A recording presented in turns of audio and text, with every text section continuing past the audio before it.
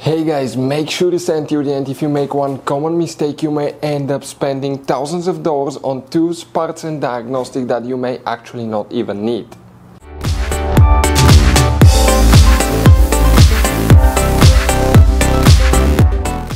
Hey guys, welcome back to Auto Repair guys. Thank you guys for watching and subscribing to the channel. Today will be super helpful video to any of you having a BMW X3 X4, that generation here from year 2010 to year 2018. If you have one of those, you have a problem guys where your cigarette lighter does not work. It could be the one in the front, the armrest, the rear or in the trunk. Stay with we'll explain what causes that. It's super simple fix, 9 out of 10 times. It could be something else as well. We'll talk about that. We'll guys explain where you can buy cheap parts and tools. That way do not waste money and time. All that guys will be covered absolutely free for your convenience. Please make sure you stay until the end. So, before we start guys, let us tell you a little bit about us. Every single car we get here at the garage, we try to make at least 2 to 300 free repair videos. We take them completely apart, we show you how to fix engines, transmissions, engine codes, fuses, uh, bodywork, a little bit of everything. Why we guys do that? Because our mission in the shop is to save you as much money as we can. All we need in return, please subscribe to the channel, like the video, that way we can keep making these absolutely free videos for you.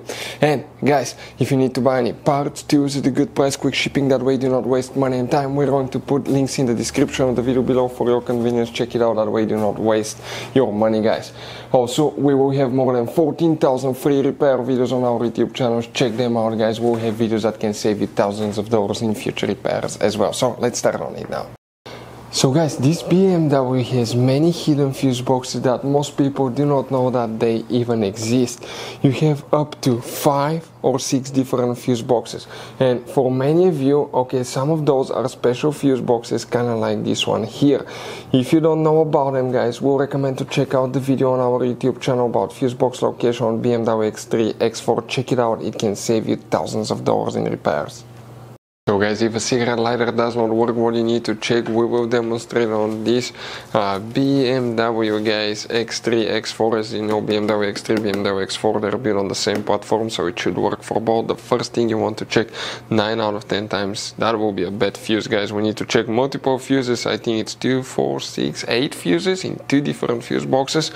First, we're going to start by opening the passenger door open the glove box remove everything out of the glove box. In the very back on the right you have that cover. Press that tab pull that cover out behind it. You're going to find a fuse box with a layout like this one here.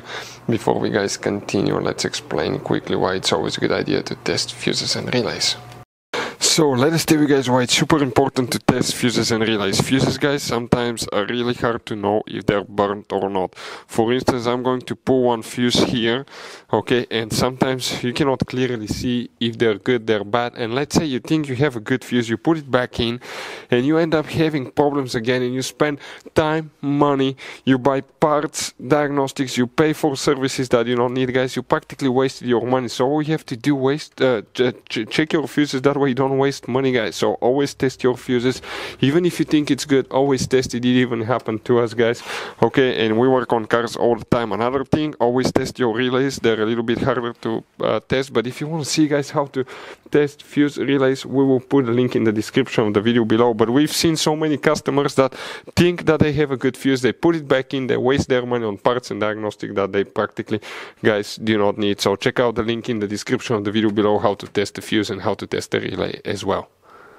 Here we need to check two fuses guys, but then we need to go to a different fuse box and check up to six more. You may have all of them, you may have some, depending on which model, year, uh, and uh, how many power outlet cigarette lighter sockets you have guys. So the first one that you need to check is fuse 65. We're talking about this fuse right here. The second one is fuse number 54. So we're talking about this fuse right there. Then open the trunk, remove that cover on the side, lift that insulation up, uh, lift that insulation piece up. Behind it you have the main trunk fuse box. Okay, that will have a layout like this one here. And what we guys need to do here now? Okay, multiple fuses will need to be checked. 107 is the first one 107 here. Then you guys need to check fuse number 111 we don't have that one but if you have it check it. Also 143 and 144 these two fuses right here will need to be checked. After that guys you need to check fuse 171 if you have it and 176 now if all these fuses are good cigarette lighter still doesn't work or when you try to charge electric device it still doesn't work. It could be a bad cigarette lighter socket if you want to. Always check to make sure on the bottom you don't have a coin like a penny, coin, anything, metal, key dropped inside because it will keep popping that fuse.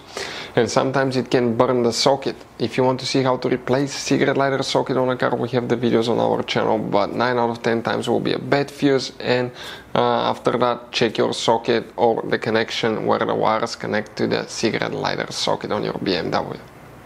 So guys, if you need to buy uh, parts, tools, fuses, relays for your BMW at a good price, quick shipping guys. We're going to put a link in the description of the video below where you can get them from because you have very specific fuses, especially these little fuse boxes guys, those could be really hard to find.